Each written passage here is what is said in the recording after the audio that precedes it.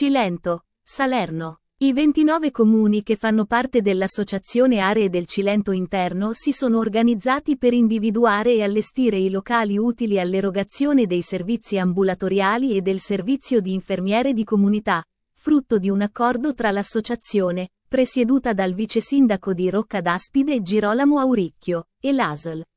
I comuni che fanno parte della strategia nazionale delle aree interne del Cilento, sono quelli di Acquara, Bellosguardo, Campora, Cannalonga, Castelcivita, Castelnuovo Cilento, Castel San Lorenzo, Ceraso, Controne, Corleto Monforte, Felitto, Gioi, Laurino, Magliano Vetere, Moio della Civitella, Monteforte Cilento, Novi Velia, Orria, Ottati, Perito, Piaggine, Rocca d'Aspide, Roscigno, Sacco, Salento, Sant'Angelo a Fasanella, Stio, Valle dell'Angelo e Vallo della Lucania.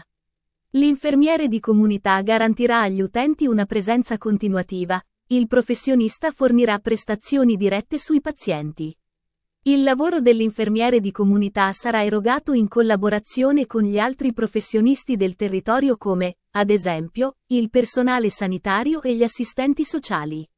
Una volta individuati e allestiti tutti i locali si procederà all'attivazione ufficiale del servizio.